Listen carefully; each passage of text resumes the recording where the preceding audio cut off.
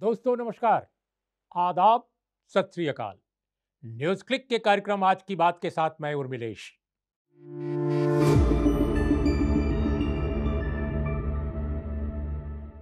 चुनाव सुधार या जनतंत्र का चीरहरण? मैं इस विषय पर बातचीत करने से पहले आपको एक छोटी सी कहानी सुनाना चाहता हूँ। बहुत छोटी है। झारखंड के सिमडेगा ज़िले में 11 साल की एक बेटी, एक बच्ची, संतोषी नाम था। 2017 के संभवतः सितंबर, अक्टूबर की घटना है, उसकी डेथ हो गई, उसकी मौत हो गई। मौत क्यों हुई? भोजन के बगैर, भूखे रहने की वजह से। ऐसा क्यों? क्योंकि राशन कार्ड जो था, उस समय वहाँ भारतीय जनता पार्टी की सरकार थी, केंद्र में मौजूदा सरकार ही चल रही थी। बड़ा ज़ोर था भाजपा सरकार का कि हर चीज़ को आधार से जोड़ा जाए। तो जो राशन कार्ड था उस परिवार का, वो आधार कार्ड से जुड़ नहीं पा रहा था क्योंकि कभी लाइट रहती थी, कभी लाइट नहीं रहती थी। जब उसके परिवार के लोग जोड़ जाते थे किसी शॉप पे जहाँ पर ये सब चीज़ें होती हैं तो वो कहता था कि अभी लाइट नहीं है, कैसे लिंक करें? लिंक नहीं हो पा रहा है। कई बार अगर लाइट भी होती थी तो नेट काम नहीं कर रहा होता था। तो इस तरह से कई महीने तक आधार कार्ड और राशन कार्ड दोनों का मिलन नहीं हो पाया। लेकिन सरकार सरकार तो आमादा थी कि हम तो हर हालत में हायर टेक्नोलॉजी तक तक ले जाएँगे, आम लोगों को भी, गरीब लोगों को भी, उत्पीड़ित समाज के लोगों को भी। जहाँ बिजली के खंभा नहीं है, वहाँ भी कहेंगे कि हम इंटरनेट चलाएँगे, हम सारी चीज़ें डिजिटल कर देंगे बैंक ऑपरेशन से लेकर म्यूनिसिपल ऑर्गेनाइजेशंस, जहाँ नगर पालिका हर जगह डिजिटल हो जाएगा। ऐसे में संतोषी के परिवार वालों को कई महीने तक राशन ही नहीं मिला। राशन कार्ड से उनका नाम डिलीट हो गया। अंत में भुखमरी की शिकार हो गई, वो लड़की और मर गई। ऐसी कई घटनाएँ मैं आपको सुना सकता हूँ। और तो और, हम लोग दिल्ली राजधानी में रहते हैं। या एनसीआर में आप रहते हैं, बैंकों में जाते हैं दो दो घंटे तीन तीन घंटे सिस्टम काम नहीं करता है। कई दिन तो दिन भर काम नहीं करता है। अगले दिन भी दोपहर बाद शुरू होता है। अभी कल की बात बताऊँ, एक बड़े नेशनलाइज्ड बैंक, राष्ट्रीयकृत बैंक के मैं एक महत्वपूर्ण ब्रांच में गया और दो डेढ़ घंटे तक डेढ़ दो घंटे तक सिस्टम ही काम नहीं कर रहा था। सिस्टम का यह हाल है कि अगर आप आधार कार्ड की जो प्रक्रिया है, उसमें करेक्शन के लिए जाइए। करेक्शन के लिए सौ रुपया लग भी गया किसी का तो भी करेक्शन कैरी फॉरवर्ड नहीं होता। और ये उदाहरण तो मेरे अपने घर में है। तो कितने उदाहरण दिए जाएँ? लेकिन सरकार आमादा है कि वो दुनिया, भारत की हर चीज़ को आधार कार्ड से जोड़ देगी। इलेक्शन में वोटिंग के लिए जो आई कार्ड है, जो वोटर आईडी, उसको भी आधार कार्ड से जोड़ने का कानून पारित कर दिया गया है, पास कर दिया गया है। सरकार, इलेक्शन कमीशन, प्रशासन के लोग इसको चुनाव सुधार कह रहे हैं, क्रांतिकारी चुनाव सुधार। जब बैंकों को सार्वजनिक संपत्ति को देश की संपत्ति को बेचा जाता है तो उसको भी कहा जाता है कि रेडिकल रिफॉर्म्स जमीनों को, किसानों की जमीनों को, जब उद्योगपतियों को कारपोरेट को देने का रास्ता साफ़ किया जाता है तो उसको कहा जाता है क्रांतिकारी सुधार, भूमि का बहुत बड़ा क्रांतिकारी सुधार. अब सवाल यह है कि विनाशकारी सुधार फिर क्या है? तो मुझे लगता है दोस्तों, ये जो उदाहरण कुछ मैंने जानबूझकर शुरू में ही दिए कि ये जो सुधार, चुनाव सुधार किए जा रहे हैं, दरअसल ये चुनाव के सुधार हैं या चुनाव को गर्त में ले जाने वाले हथकंडे हैं? क्या ये वाकई चुनाव की प्रक्रिया में कोई संशोधन या बेहतर सुधार करेंगे या ये जनतंत्र की प्रक्रिया का ही चीरहरण करेंगे? 16 नवंबर को लॉ मिनिस्ट्री द्वारा निर्देशित एक बैठक जो पीएमओ के प्रिंसिपल सेक्रेटरी ने बुलाई थी, उसमें चीफ इलेक्शन कमिश्नर और दोनों इलेक्शन कमिश्नर्स की मीटिंग रही मुलाकात रही, वर्चुअल ढंग से बैठक हुई और उसके कुछ ही समय के बाद ये पार्लियामेंट में ये चीज़ें सामने आई। हमारा कहना यह है दोस्तों कि ये जो प्रक्रिया की गई है चुनाव सुधार को अमली जामा पहनाने के नाम पर, क्या इसका राजनीतिक दलों के बीच, आम लोगों के बीच, सिविल सोसाइटी के बीच, क्या इस पर कोई बहस कराई गई है? क्या इस पर कोई डिबेट कराई गई है? क्या लोगों की ओपिनियन ली गई है? और अगर नहीं ली गई है तो जो मिनी पार्लियामेंट कही जाने वाली हमारी पार्लियामेंट्री कमिटीज हैं, अगर पार्लियामेंटेरियंस का एक बड़ा हिस्सा खासकर समूचा विपक्ष, जब ये मांग कर रहा था कि इसको, इस कानून को, इस विधेयक को आप फ़ौरन सौंप दीजिए सेलेक्ट कमेटी को, या किसी और कमेटी को सौंप दे दी, सौंप दीजिए, जो स्टैंडिंग कमेटीज हैं, आप उनमें से किसी को भी आप सौंप दीजिए, जिसमें फिर से इस पर एक फ्रेश लुक लिया जा सके, उसको फिर से देखा जा सके। जब पार्लियामेंट के फ्लोर पर ये बातें उठ रही हैं तो इससे बड़ा उदाहरण क्या होगा कि लोग कन्फ्लिक्टिंग ओपिनियन रखते हैं और पूरे देश में रखते हैं। अगर आम आदमी के पास इस मुद्दे पर मत विरोध है तो पार्लियामेंट में होना लाजमी है। लेकिन सरकार तो वारन फानन में जैसे कृषि कानूनों को उसने पा, पास कराया था ठीक वैसे ही उसने इस कानून को भी आनंद फानन में पास कराकर और कहा कि बस अमली जामा पहनाएँगे। तो दोस्तों ये कानून ये जो संशोधन है मैं इस पर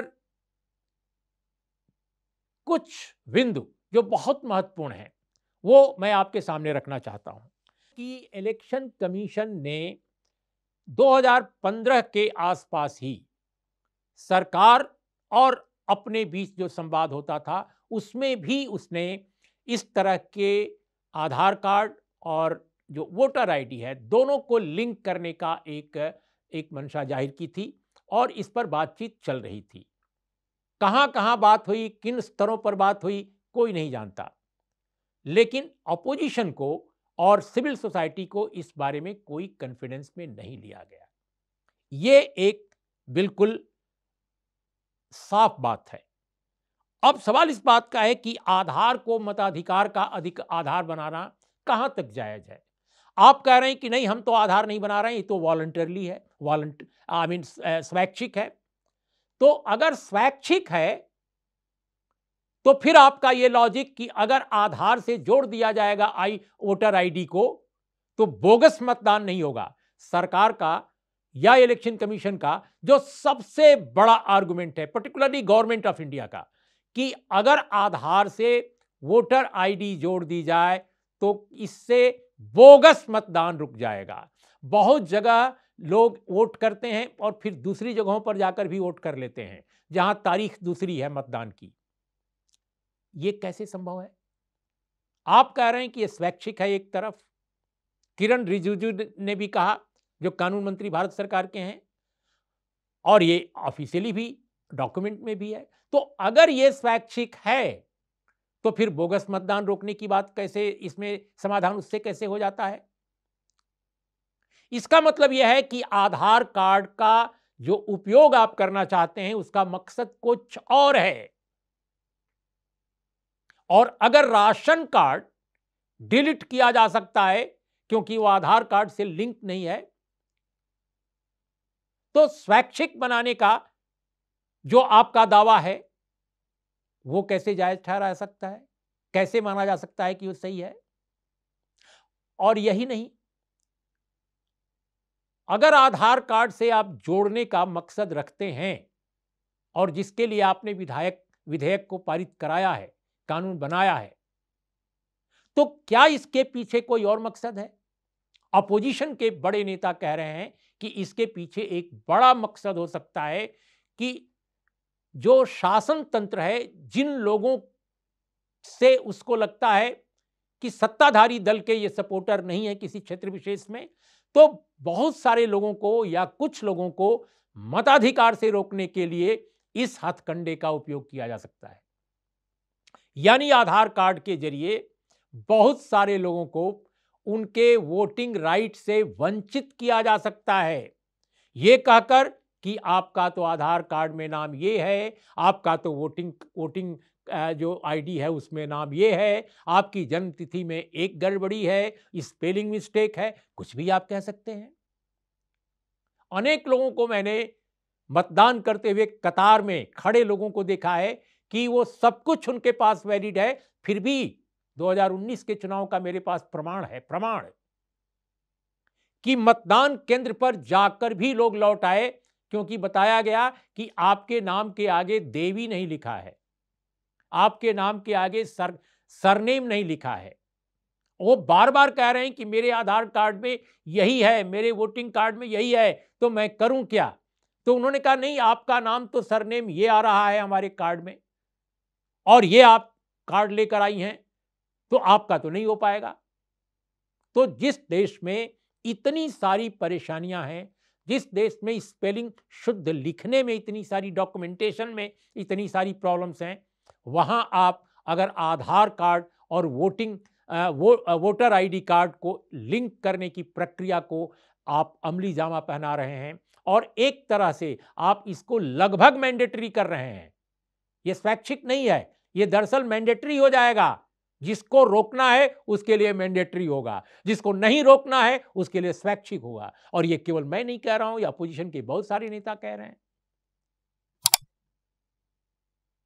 तो जब अपने देश में बूथ मैनेजमेंट से लेकर और वोटर लिस्ट का पूरा का पूरा मैनेजमेंट बड़े बड़े राजनीतिक दल बड़े बड़े कार्यकर्ताओं को लगाकर पूरी वोटर, वोटिंग मशीनरी उनके पास है, पूरी उनके पास चुनाव मशीनरी है, उसके ज़रिए जहाँ मैनेज किया जा रहा हो, इस तरह से वहाँ क्या ठिकाना कि वोटर आईडी और आधार का जो कथित लिंक है, उसमें भी कोई डिसरप्शन किया जा सकता है, कोई धांधली की जा सकी की जा सकती है और पूरे के पूरे जनतंत्र का माहौल उड़ाया जा सकता है। तो ये जो मसला है आधार को वोटर आईडी से लिंक करने का, ये जितना सीधा दिखाई दे रहा है, उतना सीधा नहीं है, ये बहुत टेढ़ा है। और दूसरी बात दोस्तों कि प्राइवेसी का जो उल्लंघन है, जो प्राइवेसी का जो बड़ा खतरा है, निजता का जो बड़ा खतरा है, हम जानते हैं कि आधार के बहुत सारे डेटा, एक राज्य में तो पता चला था कि लगभग आठ करोड़ के आसपास डेटा पता नहीं कैसे कहीं से हस्तगत कर लिए गए। ये क्या है?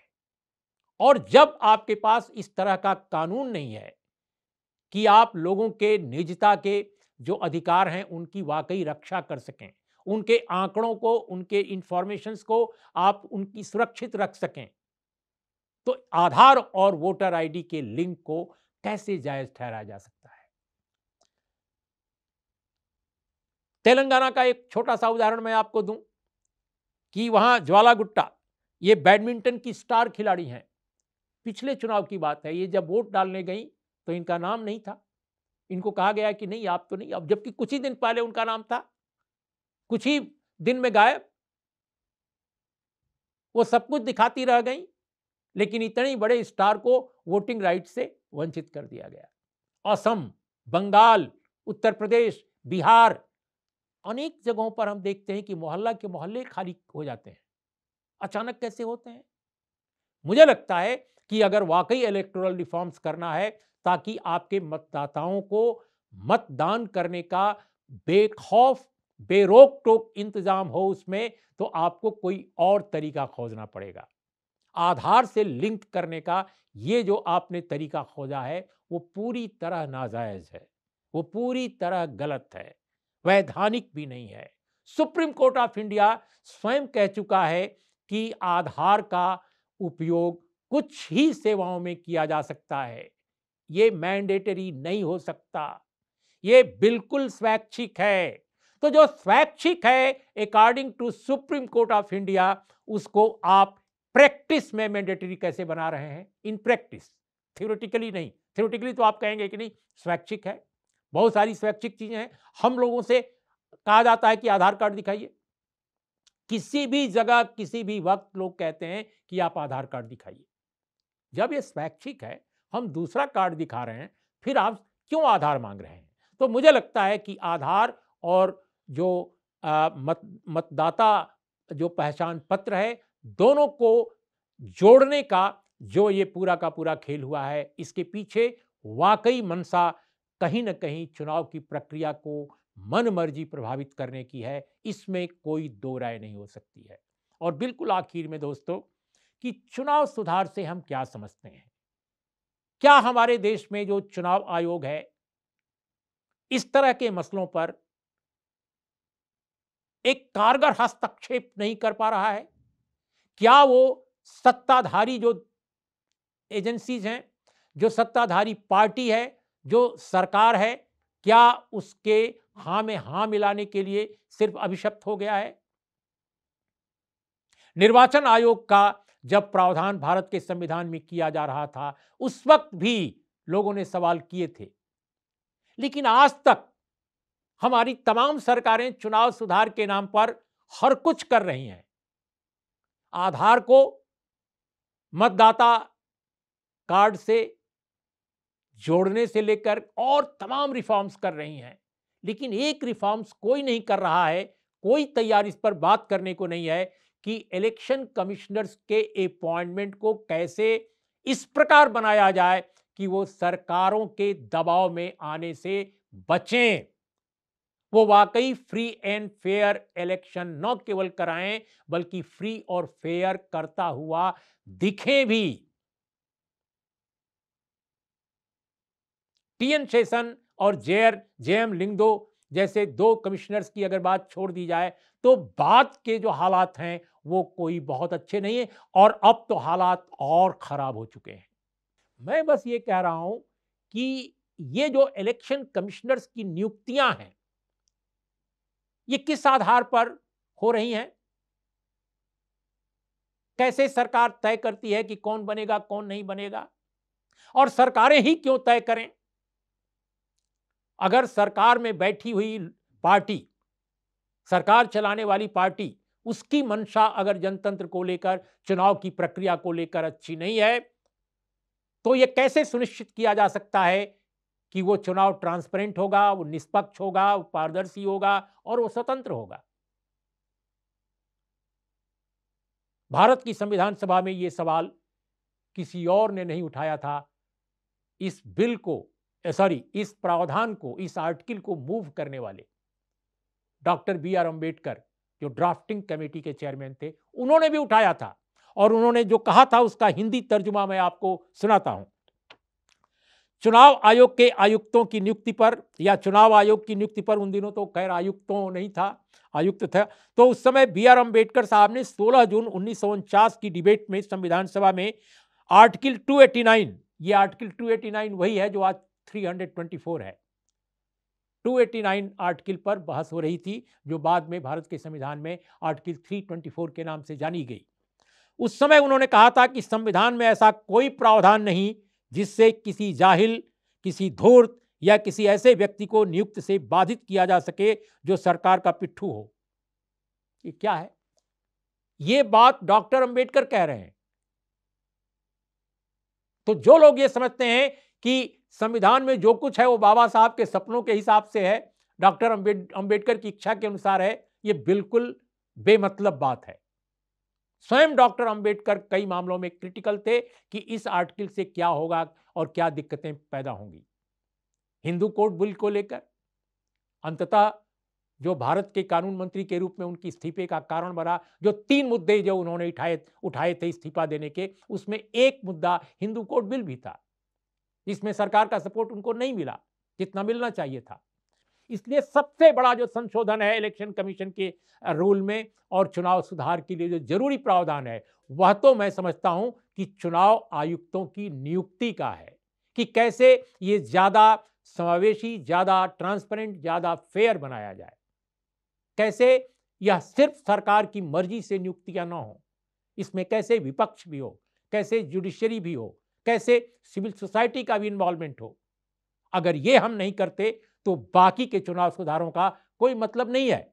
और आधार को मतदाता मतदाता पहचान पत्र से जोड़ने का जो मसला है, वो निस्संदेह उसकी उसकी जो मंशा है, वो कुछ और है।